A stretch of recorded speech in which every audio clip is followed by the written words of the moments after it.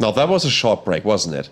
Um, once again, I'm, I'm- that was the that was the coolest sound demo I've ever gotten from from from a tablet.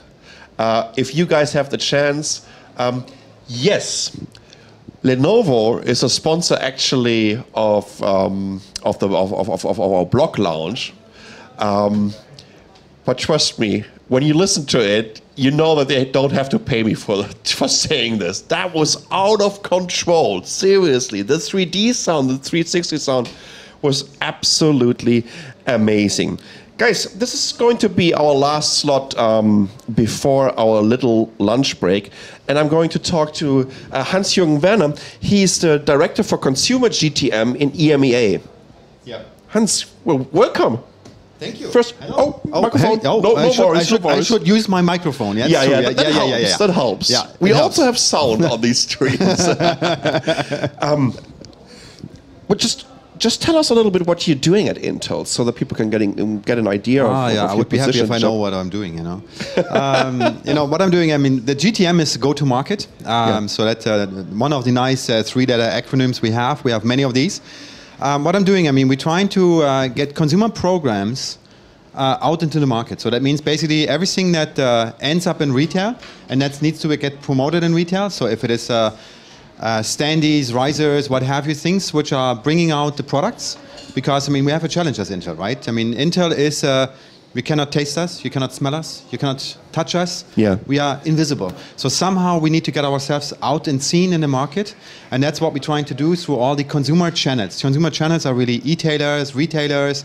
As we do that together with our OEMs, we do that online, we do that offline, we do that through training, um, and that's that's basically we want to help consumers to make a choice because that is one of the most difficult things for consumers is to choose they stand in front of a shelf and sometimes they have 50 different systems in front of them how do you select? Yeah. how do you find the right one for you? And what do you do if you don't know what to do? Usually is you limit your risk. What means li- risk limitation in this case? You spend not a lot of money. You buy a cheap system. You may not be happy when you're home and that is something we want to avoid So, um, how how are you going to do that? How are you going to tell me which product I want? or, or, or, or, or is, is, is this more of a company secret, right? Is this your secret No, sauce yeah, inside of uh, Intel, right? Of course, a secret. no, I mean uh, we have different tools, right? So we have on one hand we train um, about twenty thousand uh, salespeople in the stores. So we have a database of thirty-five thousand, and they twenty thousand are active. So they they basically taking one million trainings a year. So on all kinds of technologies and products and positionings. Then we have a software which runs on the screen in a store. So you basically you can select with three, five questions. You basically get a recommendation. And then based on that recommendation, you can maybe find and narrow down your choice. And then of course, with that, we, we do the same thing online. Um, so and then uh, we we really try to get to to help in, in the most efficient way through questions that people ask themselves, what do I need the system for? What do I want to do with that? And many people think about today and they don't think about tomorrow. And that's what we try to build in as well. Because you want to use, I mean, people use their systems now in average six years, mm-hmm. a very long time, right? Yeah. If I would go back 10 years, 15 years, people used it maybe three years. Mm-hmm. Now they use it six years, which is positive for the product because it means the product survives that time, it's a quality. Yeah. But then you need to know uh, you need to when you purchase you need to build in kind of an investment protection for yourself. Yeah. You- you- no, nobody is thinking that way. Investment protection sounds so business right? But th- that is something you want to use it for that time. Yeah. and that's what we're trying to help them with. And that is a pretty complex task. And if you then think of i mean you have a lenovo you have an acer you have an asus you have uh, dell toshiba whomever you? Yeah. and they all have of course their own ideas and agendas and we try to bring these things together. And then have a joint go-to-market. That's what we say basically. That's how we call that. Yeah. So it's a complex task, I can tell you, and we, we do that for 46 countries. So Wow. that is uh, a lot of to do. That, mu- that must be quite complex, like you like you said, right? Especially when you're doing this for so many different countries, Yeah. with this very regional and very unique mentalities and characters and yeah i mean you can imagine right? I mean if you do something in, in, saudi arabia that is very different to what you do most probably in germany let's say. Yeah. Right? So you have to yeah, of course you have to respect the local cultures local religions i mean local cultures everything every habits you have to, to build that in. When you do marketing materials for africa it doesn't make sense to have the nice american there right? It yeah. should be a picture of somebody from africa otherwise it's not resonating. So these are little things but you have to learn that over time. And then take into account as well the product complexity. Now we don't have anymore only a desktop and a notebook. Right. We have two-in-ones we have tablets. We have big screen small screen super slim gaming systems. You have everything right? Yeah so yeah hmm what, what how to, to play with that one? Um, but on the other hand if that would be easy they wouldn't need us. So yeah. that's yeah. fine. So at least we have a job so Hans, it also means that you have to try out all these products, right? Um, I don't have to try out all the products, but at least I should have an idea of what products in market are coming to market. Yeah. Okay. Yeah. Or at least um, you can kind of get the I wouldn't say like the flagship device, but at least you know what the different the different categories, and you need yeah. to figure out you know what are the real differentiations in between the categories. Uh, how can we target specific consumers yeah. and customers with specific products? Uh, what's the overall strategy for a category, and mm-hmm. all of this. So this is this is where you guys are starting. Yeah, that's where we guys are. That, that's true, and then you have as well. I mean, take a simple example. I mean. Uh, when you when what people do and as well what we do do together with our customers, we have promoters in stores sometimes, right? And that, that costs money, uh, and you have to ask yourself, okay, what product do I accompany with a promoter? Is it a normal laptop, 15.6 mm. inch screen laptop, which most of people buy still, so which is a, a, kind of a volume product, or is it maybe the gaming PC, or is it maybe the two-in-one, which is not as well known?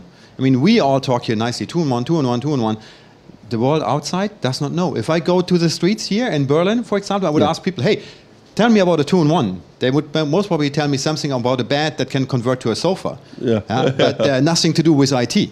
And uh, that is something we have to work on. And then here you would use a promoter because that's something that, that, that needs to be explained. And that, that is the point, basically. Yeah, two and one, that's a good one. Pay two, get one. yeah, here we go.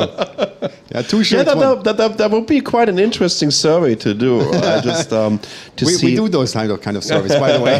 we learn a lot. Um, how complicated was it, especially like you said, um, like for almost 25 years, we've when we were talking about a laptop or a notebook, mm-hmm. we've had this classic uh, clamshell design, and we just had uh, uh, one representative from Toshiba over here the, who invented it like 30 years ago in 1985, oh. mm-hmm. and um, and now you have the two-in-one. Now you have the tablets. You have the detachable ones. Mm-hmm. Um, you have all-in-ones that almost look like a huge tablet. You have portable all-in-ones. You have you have portable all-in-ones, right? Yeah. Um, how how complex is it to actually figure out the usage scenario for uh, f- uh, for a customer? Are you, are, you doing oh. like field tests, like getting 500 mm-hmm. customers uh, trying out different devices, and you're basically just observing them?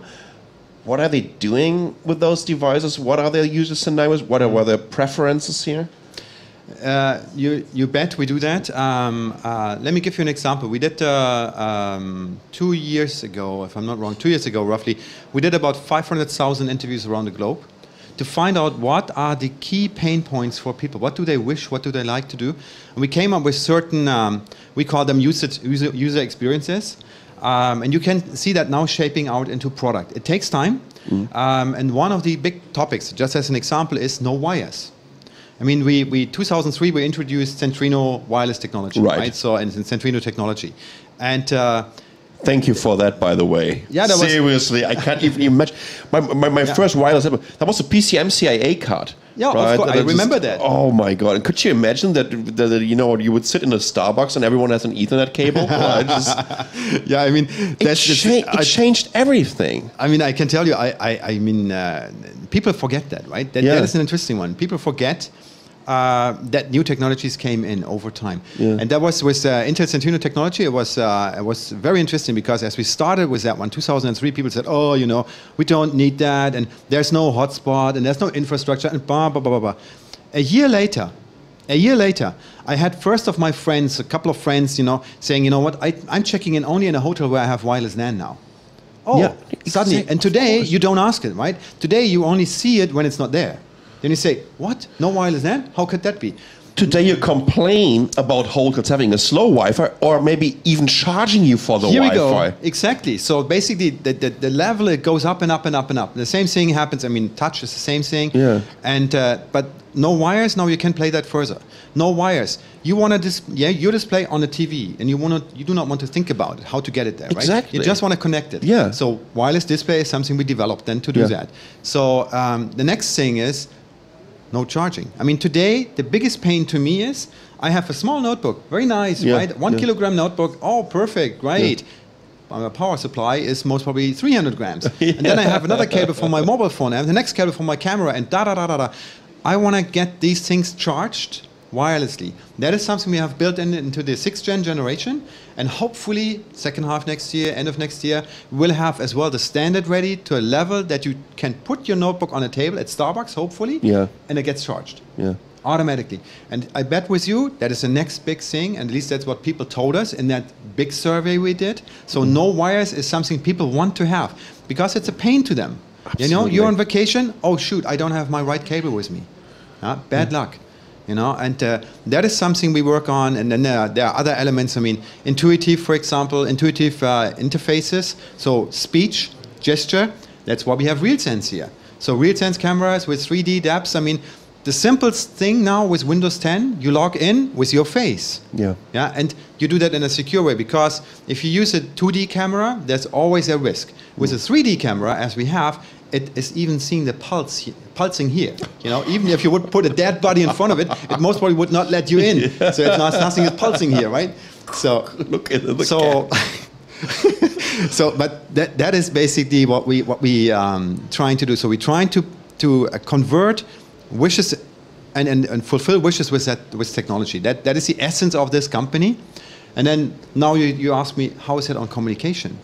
Yeah we're doing tests uh, uh, with RealSense as a technology in stores so we're doing that since December last year we're doing that in all media markets in, uh, in Netherlands currently and we now has, have as well another couple of stores across EMEA.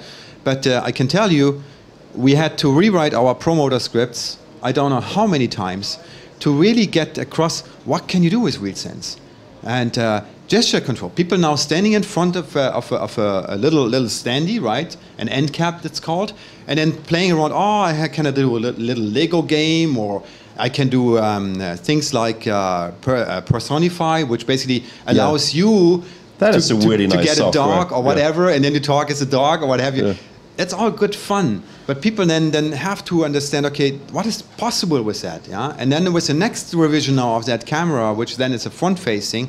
So uh, uh, rear facing, so not front Yeah. facing. Front facing is what we have today. Rear facing, so basically you take a picture. Now imagine you take a picture of your room, your living room at home. Yeah. Bong. And it gives you the measures automatically. So it tells you, okay, this is 3 meter 20, that is a height of 240. Then you go to IKEA and you go with that picture in there and then automatically puts the sofa in Yeah. your room and you can move it back and forth.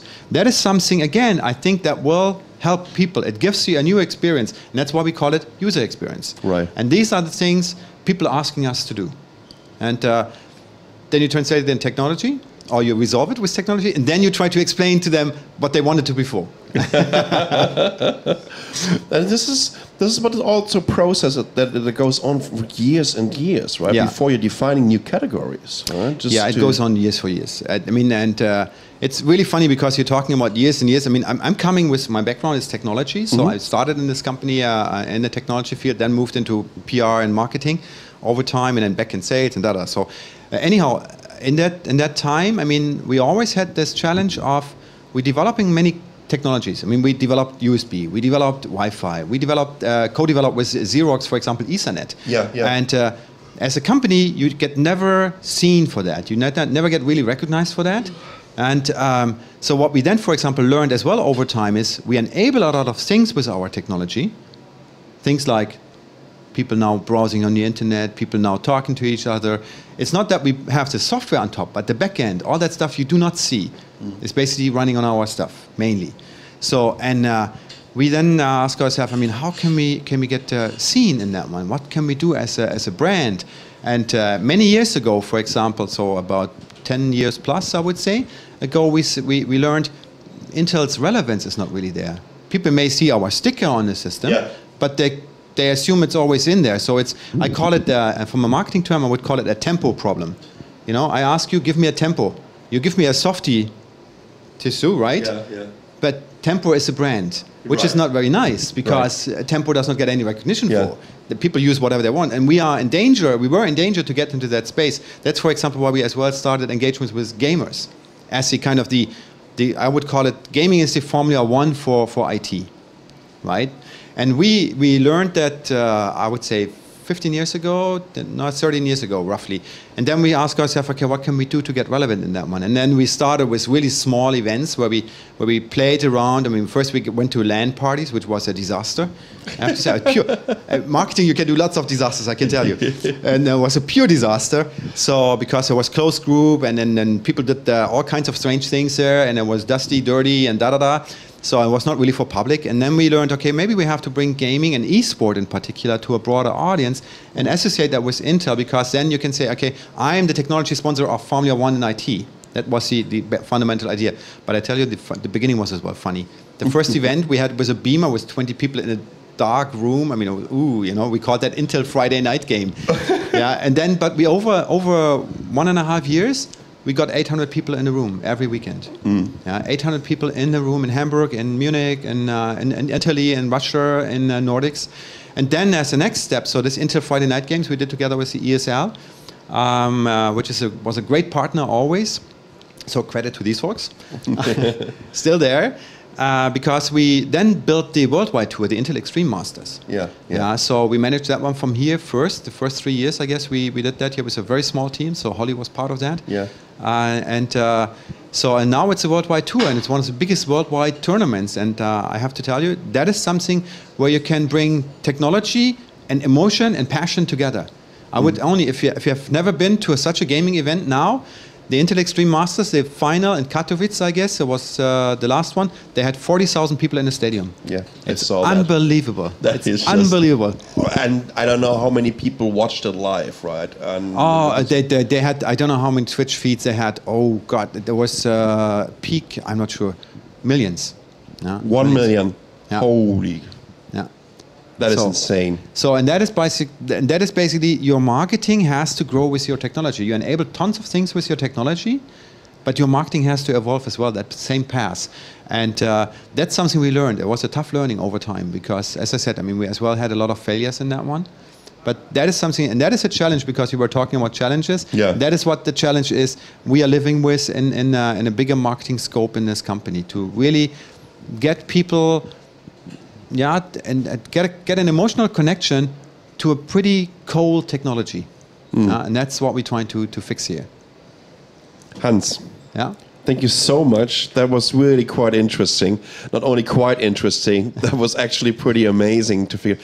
I knew that they were brewing something in their labs, right? In terms of trying to tell us, okay, what are going, what are the future products going to look like, right? And of course, I mean, working towards um, a new category and new devices and for new markets, that takes time. And as you can tell, right, it's a quite complex topic. Um, we're gonna have a little bit of a lunch break, but we should have enough content for you guys to to just enjoy and watch um, some coverage here from the show floor on IFA. If you're still around Berlin or close by, you can still come over to IFA until I think Wednesday next week. Uh, we are here in Hall 16, so just come over, say hello. By the way, for those gamers out there, there's an amazing gaming rig down here. Um, what's what's the name of these guys? VRX. I tried the I tried the high end version of, of their rig uh, at IDF. That was like 80, 84,000 US dollars. This is still like 30,000 that they have over here, and it's lots of fun. They have iRacing running, and um, yeah, you just want to try it out. So I should be back on the stream at around 1 p.m. local time, so that's GMT uh, plus one, and we're gonna talk to uh, Jason Gurdon He's a senior manager of communications for Alcatel, and I'm pretty sure that he also has some products with him. So I see you soon.